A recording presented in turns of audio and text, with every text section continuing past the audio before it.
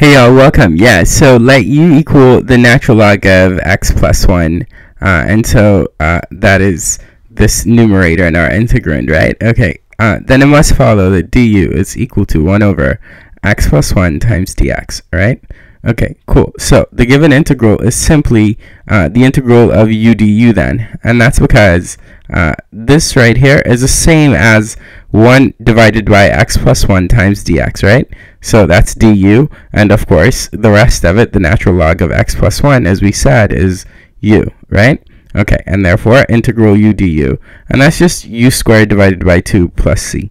Uh, but we recall that u is the natural log of x plus 1, so uh, we do that instead of u squared. Um, and yeah, okay, cool. Keep watching. Take care.